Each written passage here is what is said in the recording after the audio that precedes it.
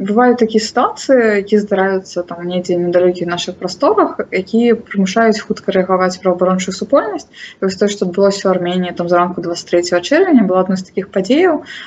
і на якую вельмі добра адрэагавала сетка дамоў правоў чалавека які выклікаліся дапамагаць мясцовым арганізацыям па збору інфармацыі у выніках разгон на мірнай дэманстрацыі якраз мяне запрасілі удзельнічаць у такім візіце мэта асноўная якого была дапамога мясцовая арганізацыя армянская хінская асацыяцыя якая рыхтуе падрабязны даклад па падзеях разгона і того што адбылася пасля і яны займаліся апытанняў асобы які былі затрыманыя альбо удзельнікамі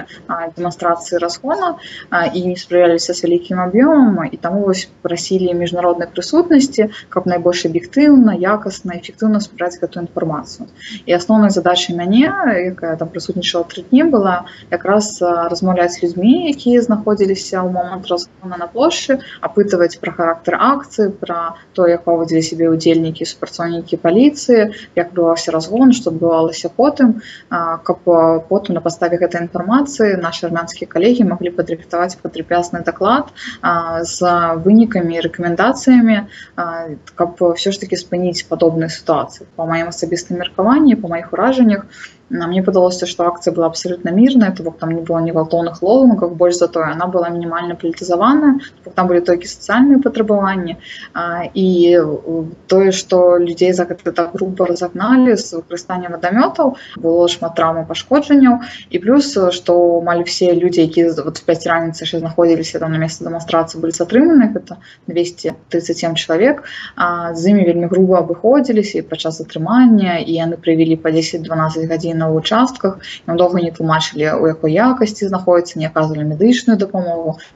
там не давалі ежы не давалі званкі не паведамлялі пра іх месцазнаходжання і потым дапытывалі незразумела якім статусе то казалі то не падазроныя то сведкі то бок это больш было падобна на нейкае запужванне людзей цікава што на армянская армянская супольнасць она наадварот потым выйшла знак падтрымкі 23 ўвечары ўжо сабралась вельмі шмат людзей і пасля этого супрацоўнікі паліцыі зразумелі што іх дзеянні неэфектыўны што не варта так абыходзіцца але як факт там вялікая колькасць людзей насамрэч атрымала пашкоджанні. І зараз пададзены шэраг скаргаў у мясцовыя органы але пакуль яны не атрымалі ніякай рэакцыі да? то бок улады кажуць што яны поступілі добра прапорцыйна адзінае пра што яны шкадуюць што у тым ліку былі затрыманы журналісты. Усіх хто здымаў фото відэо у іх выдалялася гэта інфармацыя ламалася тэхніка нават часам. Яны высмяюць толькі за гэту частку попросілі прыбачэння і паспрабавалі кампенсаваць. А за разгон асноўнай часткі дэманстрантаў ніякай стысфакцыі інфармацыі ніхто пакуль не атрымаў